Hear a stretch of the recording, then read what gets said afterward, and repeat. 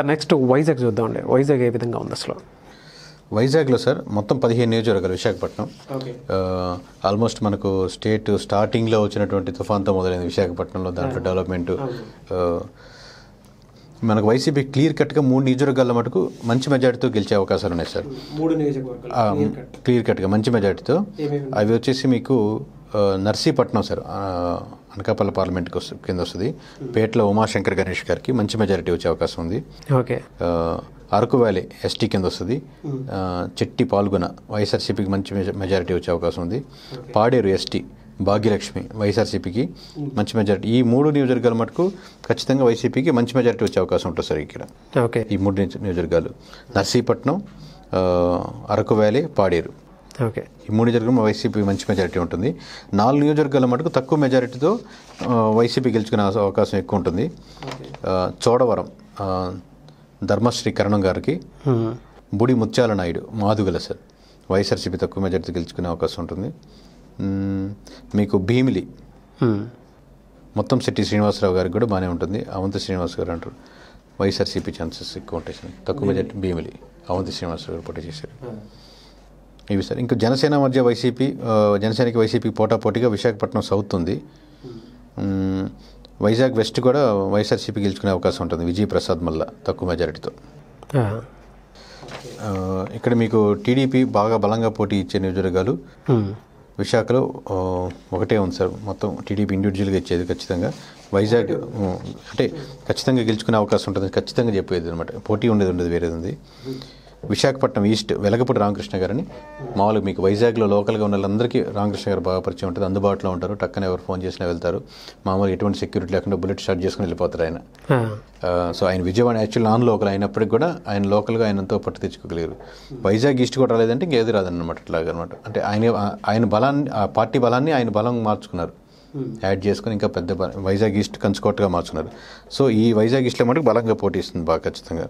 First పొజిషన్లో మటుకు అదే ఉంది. తర్వాత వైజాగ్ నార్త్ టీడీపీ మధ్య వైసీపీ మధ్య పోటాపోటీగా ఉంది. North TDP? పోటాపోటీగా ఉంది. ఓకే. అట్లాగే ఇక్కడ జనసేన నాలుగు స్థానాల్లో మంచి పోటీ ఇస్తుంది సార్ ఇక్కడ.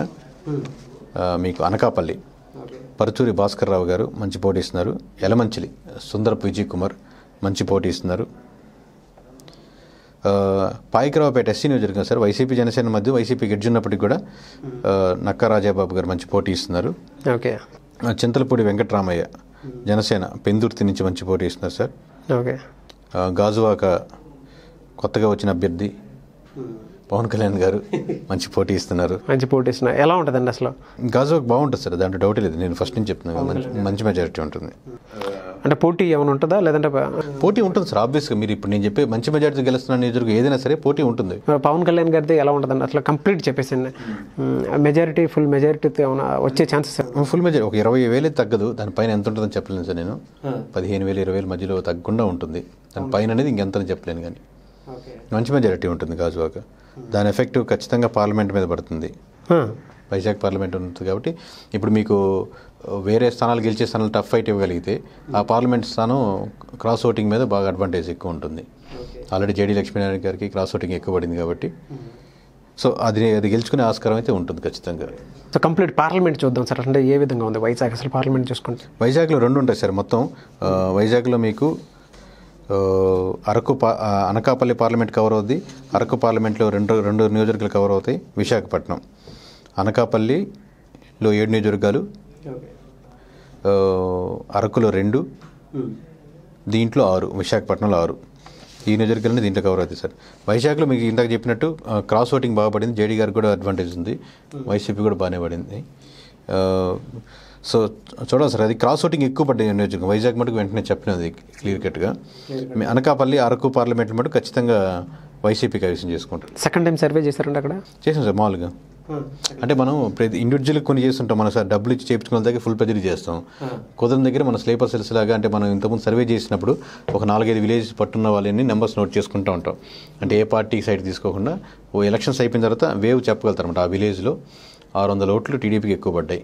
లేదా మూడు వందల ఓట్లు అంచనా చెప్పిన వాళ్ళు అలాంటి మూడు నాలుగు విలేజ్కి ఒక్కొక్కరు తీసుకొని వాళ్ళని వెరిఫై చేస్తాం. అంటే వీళ్ళు ఒక శాంపుల్ కింద రాదు. వీళ్ళు ఒక విలేజ్లో పట్టున్న అంటే వెరిఫై చేయగలిగిన వాళ్ళు. వాళ్ళని వెరిఫై చేసి ఫీడ్బ్యాక్స్ ఇచ్చుకుంటాం. ఓకే. ఇది రీవెరిఫికేషన్ అనేది ప్రాసెస్ మేము చేసేది. ఓకే వైజాగ్ వచ్చేటప్పటికి అందరికీ ఫోకస్డ్ ఏరియా కాబట్టి జేడీ గారితో కొంచెం ఇంట్రెస్టింగ్గా మారాయి. At the same time Balakrishna గారి ఆ, చిన్నల్లుడు గారు. అది కష్టంగా ఉంది సార్. మామూలుగా జేడీ గారికి ఎక్కువ క్రాస్ ఓటింగ్ పడింది. వైసీపీ కూడా మంచి పొజిషన్లో ఉంది. చూడాలి మరి.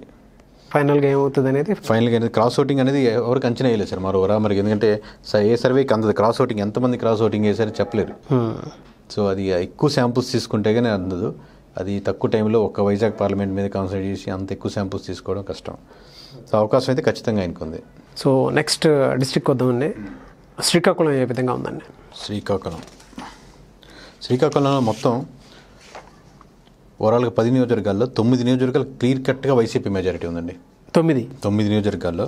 కావాలంటే నేను పేర్లు కూడా చెప్పేస్తాను ఎట్లా ఎట్లా ఉందనేది. Clear cut majority. Araku ST parliament కింద వస్తుంది. ఐ మీన్ పాలకొండ ఎస్టీ వస్తుంది. నియోజకవర్గం పేరు పాలకొండ ఎస్టీ. విశ్వసారాయి కళావతి గారు వైస్ వైఎస్ఆర్సీపీ నుంచి భారీ మంచి మెజారిటీ. అంటే భారీ అంటే టెన్ థౌసండ్ పైన. ఆమదాల వలస తమ్మినేని సీతారాం గారు మంచి మెజారిటీ ఉంటుందండి. ఇచ్చాపురం ప్రియా సాయిరాజ్. ఇది ఇది ఒకటే మటుకు తక్కువ మెజారిటీతో పోటా పోటీ పడుతుంది ఇచ్చాపురం. అన్ని అంటే అందరూ మిగతా పార్టీలు కూడా బాగుంటుంది. నేను పదిలో తొమ్మిది గ్యారంటీ అన్నప్పుడు ఎక్సెప్ట్ ఇచ్చాపురం. ఇచ్చాపురంలో కూడా వైసీపీ తక్కువ మెజారిటీతో గెలుస్తుంది. కానీ మిగతా మిగతా ఈ మటుకు ఎక్కువ మెజారిటీ ఉంటాయి అన్నమాట. నరసన్నపేట ధర్మాన కృష్ణదాసు పలాస సీదిరి అప్పలరాజు వైఎస్ఆర్సీపీ మంచి మెజారిటీ ఉంటుంది ఇక్కడ కూడా. పాతపట్నం రెడ్డి శాంతి మంచి మెజారిటీ ఉంటుంది. శ్రీకాకుళం ధర్మాన ప్రసాదరావు గారు మంచి మెజారిటీ ఉంటుంది. టెక్కలి పెరడ తిలక్ మంచి మెజారిటీ ఉంటుంది. హెచ్చర్ల గోర్ల కిరణ్ కుమార్ వైఎస్ఆర్సీపీ మంచి మెజారిటీ ఉంటుంది. రాజం కంబాల జోగులు వైఎస్ఆర్సీపీ మంచి మెజారిటీ ఉంటుందండి. ఓకే. మామూలుగా ఆల్మోస్ట్ అన్ని స్థానాల్లో క్లియర్ కట్గా మంచి మెజారిటీ ఉంటుంది. వైఎస్ఆర్సీపీకి శ్రీకాకుళంలో పది స్థానాల్లో. టీడీపీ టీడీపీ వచ్చేదానికి ఆస్కారం తక్కువ అండి అంటే ఇచ్చాపురంలో పోటీ పడుతుంది. అక్కడ జనసేన కూడా బాగానే ఉంటుంది. కానీ ఓవరాల్గా మటుకు శ్రీకాకుళం మటుకు టెన్ కొట్టినా ఆశ్చర్యపోనక్కర్లేదు. Hmm. టెన్ క్లీన్ అంత అంత కాన్ఫిడెంట్ అండి. అంటే అక్కడ ఉన్న ఫ్యాక్టర్స్ ఏం పని చేస్తున్నాయని చెప్పేసి టెన్ వచ్చేస్తాయి.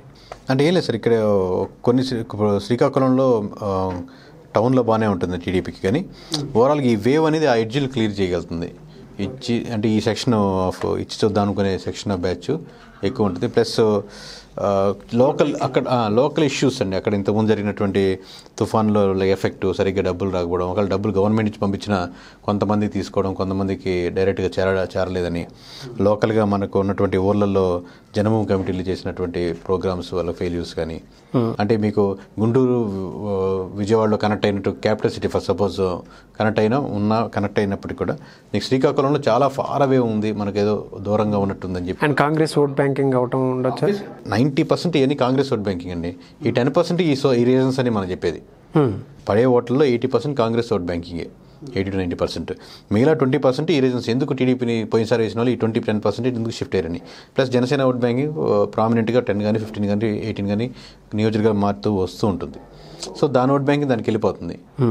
సేమ్ అదే రీజన్స్ మీ స్టేట్ వైడ్గా సేమ్ రీజన్స్ ప్లస్ తుఫాన్ ఎఫెక్ట్ అనేది మనకు తిత్లీ తుఫాన్ ఎఫెక్ట్ ఎక్కువ ఉంటుంది అక్కడ. ఓకే. ఎఫెక్టెడ్ ఏరియాస్లో ఓకే అండి. సో ఇక్కడ టెన్ శ్రీకాకుళంలో క్లీన్ స్వీప్ చేసినా ఆశ్చర్యపోనక్కర్లేదు. క్లీన్ స్వీప్ చేసినా ఆశ్చర్యపోయారు. శ్రీకాకుళం కంప్లీట్. పార్లమెంట్. పార్లమెంట్ కూడా అంతే సార్ కంపల్సరీ. మామూలుగా శ్రీకాకుళం పార్లమెంట్ కింద వస్తుంది. ఒక పాలకొండ మటుకు అరకు పార్లమెంట్ కింద వస్తుంది. మిగతా ఎచ్చర్ల రాజ్యం ఇవన్నీ విజయనగరం పార్లమెంట్ కింద వెళ్తాయి. ఓన్లీ శ్రీకాకుళం కోర్ పార్లమెంట్లో ఏడు నియోజకవర్గాలు వచ్చి మీకు ఆమదాల వలస ఇచ్చాపురం ఇచ్చాపురం కూడా దాని కింద వస్తుంది ఇచ్చాపురం నరసన్నపేట పలాస పాతపట్నం శ్రీకాకుళం టెక్కలి. ఈ ఏడు నియోజకవర్గాలు మటుకు శ్రీకాకుళం పార్లమెంట్ ఖచ్చితంగా వైసీపీ తీసుకుంటుంది. మామూలు ఎవరైనా డౌట్ పడేవాళ్ళు యాక్చువల్ శ్రీకాకుళం పార్లమెంట్ కొడుతుంది అనుకుంటారు కానీ శ్రీకాకుళం పార్లమెంట్ ఖచ్చితంగా వైసీపీకి వెళ్తుంది.